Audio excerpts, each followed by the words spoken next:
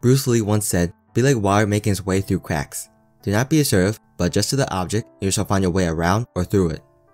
The point that Bruce Lee is trying to get across is to empty one's mind and become shapeless. True masters eventually get to a point along their martial arts journey where they no longer need to rely on any specific techniques or style. They are not bounded by the specific manners that their training has dictated and instead they become formless. This is the highest level that martial artists can hope to achieve. What's up Bakas? It's your boy Nhattylite and welcome back to another part of my Kengan Ashura analysis series. Today I'll be discussing none other than the number one ranked fighter, the Emperor of the Kengan matches, the Fang of Metsudo, Kanoh Agito. I'll be going over his backstory, appearance, personality, and of course, his fighting style. But before we get into any of that, I'm gonna warn you guys that there are gonna be major spoilers regarding the Kengan Ashura manga. I'm going to be explaining as much about the Fang as possible, which means that I will be talking about crucial plot points regarding the story. Now that you've been warned, let's jump right into the video. Kanoh Agito stands at 6 feet 6 and weighs in at 282 pounds. He's a heavy built man with slick black hair and noticeably has no eyebrows. He has very defined facial features and his eyes have dark lines underneath them. Considering that he also acts as a bodyguard for Katahara Metsudo, Agito is usually seen in a formal black suit with a black tie. When in combat, he wears a black skin-tight bodysuit that's modeled after the LZR Racer competitive swimwear. In the two years after the Kengan Annihilation Tournament ended, Agito is seen with a scar in the middle of his forehead as a result of his battle with Kuroki Gensai. He has also ditched the suit and now has a typical American biker look. There are two sides that make up the person that is Kanoh Agito. On one side, he's a proud, humorless, and stoic individual who's robotic-like in personality and is ignorant on all things not involving fighting. For instance, he doesn't understand pop culture references such as Zetton and Ultraman. The other side of Agito can be described as his true personality. He only began to develop his calm personality after being taken in and educated by his master Katahara Metsudo. But when he's in the heat of battle against a strong opponent, his true nature reveals itself. He becomes much more ruthless and can even be described as animalistic. He shows much more emotion and is seen taking in pleasure as the fight gets harder. The switch in personality can be noticed when his pupils disappear and Agito begins grinning maniacally. But despite how ruthless he becomes in this state, he is still able to show restraint, as seen when he was able to pull his punches against Okubo. In his natural form, Agito changes the way that he refers to himself. When translated from Japanese to English, we learn that instead of using the word I, he refers to himself as we. Similar to Gaolang, the Fang is extremely loyal to his master, he sees Katahara Metsudo as his savior and he does his best to honor the name of the 5th Fang of Metsudo. He does not take it lightly for anyone to insult or betray his master. After traveling to America in the aftermath of the Kengan Annihilation Tournament, Agito seems to have developed a more human personality. He is much more relaxed and he is even seen joking with other people. 23 years prior to the beginning of the series, Kanoh Agito was discovered by Katahara Metsudo after being trapped in an underground chamber. It's revealed that Agito was trapped there as one of the participants of a Gu ritual. Gu is a form of sorcery practiced in ancient China. It involves placing poisonous creatures such as snakes, centipedes, and scorpions inside of a sealed jar and forcing them to cannibalize on each other. The intent is to have all of the toxins concentrated inside of a single being. The last surviving creature is the strongest one and is the host of the Gyu poison.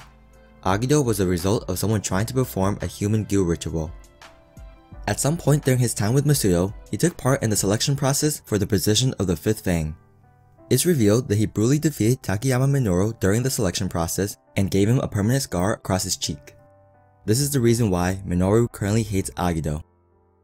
As the 5th Fang of Metsudo, Agito would rack up over 100 wins for his master and eventually became known as the Emperor of the Kengan matches. He would go on to defeat many noble fighters such as Wakatsuki Takeshi and Tokino O Tokimuchi. But what made him the Fang was not only the fact that he defeated his opponents, but that he also left an imprint of fear among those he fought. He instills a deep-rooted fear into his opponents and breaks their fangs. The Fang kills the fighting spirit. He has caused many Kengan fighters to retire because of this. Kanoh Agito made his debut in chapter 39 of the Kengan Ashura manga. While the other fighters were scouting each other out on the SS Kengan, Katahara Metsudo noted that Agito was in peak condition and that it was time for him to show off what it meant to be the Fang. The Fang has his first bout in the final match of the first round. He is paired up against Okubo Naoya, who is the current reigning MMA heavyweight champ. The crowd was roaring with the Fang chants as Agito entered the arena. The fighters seeing him for the first time immediately recognized why he was the Emperor of the Kengan matches, and those who have already seen his powers trembled before him once again. 34 seconds into the match, Okubo succeeded in landing a takedown. On the ground, the two would engage in a masterclass display of grappling and showed how evenly matched the two were in terms of submissions. After bumping his opponent off of him and getting back to his feet, Agito proclaimed that he had seen enough and that Okubo will never reach his level. But much to everyone's surprise, Okubo was able to catch the Fang off guard with a seemingly perfect chain of attacks that switched between both striking and grappling. After being damaged by Okubo, the Fang finally showed respect to his opponent by turning on his switch. His animalistic side had finally come out and quickly overwhelmed Okubo, ending the fight with one blow to the temple.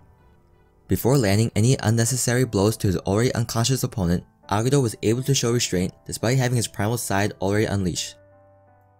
While on his way back to the locker room, he is confronted by Tokita Ohma who states that he will be the one to defeat the Fang. Being the blunt man that he is, Agito stated that Ohma had no chance of winning his block, yet alone defeating him. Agito compared him to a small pebble along the road and quickly brought down the fighter with a kick. After Ohma defeated Kure Raian, Agito came to the conclusion that Ohma is Niko's inheritor, implying that he himself had prior experience with the Niko style. The veins on Agito's face when he realized this seems to imply that he has bad memories concerning Niko and the Niko style. While spectating Kuroki-Gensai's match against Setsuna, glimpses of Agito's animalistic side began to show. He could not contain his excitement after seeing how strong the beard god was. Agito has his second bout against the Thai god of war, Gaolang Wongsawat. Before the match even began, Agito had already switched to his animalistic side, stating that he could not wait a second longer. He had seen Gaolang's matches on TV and was excited to test his boxing skills against the world champion. After evenly trained jabs in the beginning, Gaolang began to overwhelm the Fang with quick consecutive punches. The Fang admits that his boxing had yet to reach Gaolang's level and that he was ready to change styles. But despite his attempts to use kicks and elbows, Gaolang's striking was at such a high level that all the Fang's offensive options were sealed off. At this point, one would assume the Fang would start to become frustrated. He had never faced such a strong opponent before, but instead of getting frustrated, he was actually brimming with delight. He was overjoyed to be able to find an opponent that was strong enough to drive him into a corner. The Fang then proceeded to show why he was in fact the Kengan Association's strongest fighter. He showed his unique ability to evolve mid-fight and was able to form an anti-Gaolang style on the fly. The Fang's new style of fighting caused Gaolang to finally unleash his full power, a power so strong that not even the Fang could handle. What had started as a fight had now turned into a life and death match. The two entered a war of attrition, trading devastating blows, and as it looked like Gaolang was about to gain the upper hand, the Fang immediately switched into a takedown. This tactic of chaining strikes into grappling was something he copied from his previous opponent. After suplexing Gaolang, he ends the match with a strike to the jaw. As he walked away from his opponent, the Fang admitted that he never did surpass Gaolang in blows and that the Thai fighter was the strongest opponent they had ever faced. When Agito returned back to his room, we see how ashamed he was in his performance. Not only did he have to resort to surprise attacks and fakeouts, his opponent Gaolang had broken his hand through what can only be called sheer bad luck. Even with all these factors combined, the Fang only seized a narrow victory. This fight caused the Fang to become conflicted. He had always defeated his opponent by using overwhelming strength, but this time he had to force himself to use tactics. He saw the act of using tactics as a cowardly move and was distraught. However, Masuo believed that this was the perfect opportunity for the Fang to evolve. During Kasumasa's rebellion, the Fang is seen fighting the Guardians alongside Akoya. He told Akoya not to kill any of them as those were his master's orders. Agito is perhaps one of the only people who would have been able to make the bloodthirsty Akoya comply. Before his third round match, Agito was challenged by Omori Masamichi, one of Masuo's bodyguards and the former Fang, Omori stated that Agito was a liability and that this was a test to see if he was still conflicted. If Agito lost to Omori right then and there, then he would have to give up his spot as Masuo's representative. While Hatsumi Sen was waiting for his third round opponent, it was Agito who appeared before him. It turned out that Agito was able to defend his spot in the tournament and that Omori taught him how to overcome his weakness. In contrast to his previous fight, the Fang assumed a stance that he was more accustomed to, the commentator said that his upright stance was a stance that he used to use when he first began to fight in the Kengan matches. But the audience was curious as to why the Fang would revert back to his original stance. It's revealed that Agito had changed his fighting style. Usually he would try to defeat his opponent at their own game, such as when he tried to defeat Gaolang with boxing. That's why Hatsumi assumed that Agito was going to let him get close where his Aikido would be most effective. But the Fang had changed his strategy for this fight. You see, while the Fang's formless style allowed him the flexibility to come up with any move on the fly, it also had a major drawback. When presented with such a large arsenal of moves, it causes Agito to be delayed while choosing the best course of action. Gaolang was able to take advantage of this lag and was able to attack Agito during the time it took for him to process his actions. However, for his fight against Hatsumi, the Fang casted away both his formless style and his pride in favor of a few solid techniques. Agito had evolved once again after overcoming this weakness. The fight with Hatsumi quickly became one-sided, and it was where he unleashed one of his ultimate moves, the Dragon Shot. The Fang then finishes Hatsumi with a left high kick. Later on, Agito headed into his semifinals match against Kuroki Gensai. At this point of the tournament, all the fighters and the audience members were aware of how strong Kuroki was. What were once Fang chants had turned into cheering for both fighters because everyone knew the two were evenly matched. Despite the match starting off with neither combatant moving, everyone in the arena could feel the tension in the air. The two were in a contest of predictions, trying to see who could read more moves ahead of their opponent. Once they did begin to move, the two were evenly matched. They traded blows and were dodging each other's attacks by just a hair.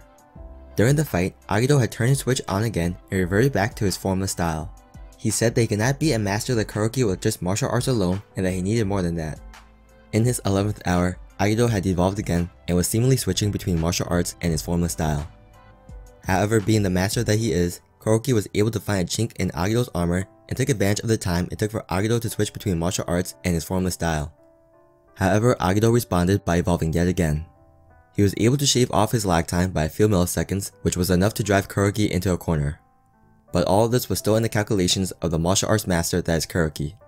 He continued to elegantly display his martial arts, laying blows on Agito and staying ahead of his opponent at every turn. The time for the Fang's defeat had come at last, and as Kuroki lands the finishing blow, Agito swears to himself that one day he will defeat this man. On his way back to his room, Agito ran into Metsudo.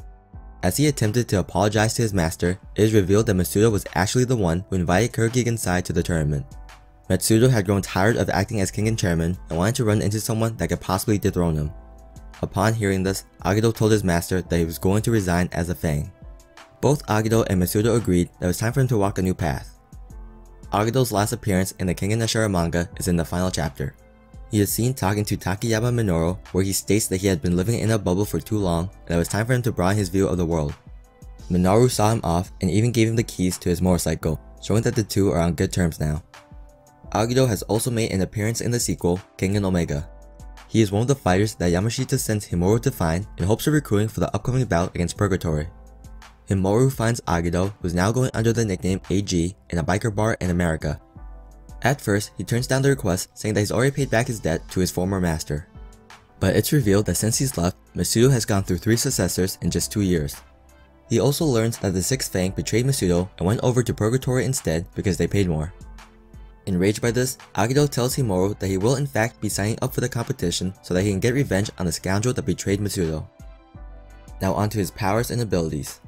Being the emperor of the Kengan matches, it's no surprise that Agito is incredibly strong. He is a well-rounded individual who can compete with master-class grapplers like Okubo and elite strikers like Gaolang. He's so well-rounded in fact that he can attack from super long range all the way down to an inch away from his body. He has no blind spots and he can continuously chain attacks from different ranges into each other. Due to his great sense of pride, he often chooses to challenge his opponent at what they're best at, even if it means putting himself at a disadvantage, as seen in his match against Gaolang. He believes that he can overwhelm any opponent with any style because he is the Fang. However, he is not above throwing away his pride and using tactics if it means victory. Agito does not have one particular fighting style, but instead calls his style formless. He is such a talented fighter that he does not need to rely on one discipline. He allows both his body and mind to move freely and without constraint. In tandem with his formless style, a major component of Agito's fighting skills revolves around his unique ability to evolve mid-fight. He has a wide arsenal of moves that he can choose from, and is able to build perfect countermeasures on the fly. However, this isn't to say that his formless style is without weakness. Because his brain is processing so many options, it takes him time to choose the best course of action. Fighters who are specialists, such as Gaolang, can take advantage of this small delay. It's also not ideal to use the formless style in consecutive bouts. Because it takes a great deal of stamina and reflexes, it would be difficult to constantly use in a tournament where Agito is building up damage. He overcame this weakness by limiting his options when fighting. By throwing away the flexibility of the formless style and by focusing on a few solid techniques, he is also able to do away with the delay. He has also unlocked the ability known as pre-initiative.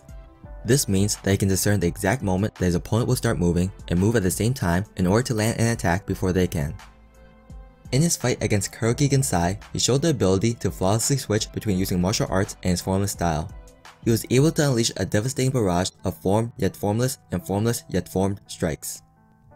Of all of his techniques, the one that Agito deems as the one with the most firepower is his Dragon Shot. It's this variation of Bruce Lee's 1 inch punch and allows him to transfer all his power into a singular blow.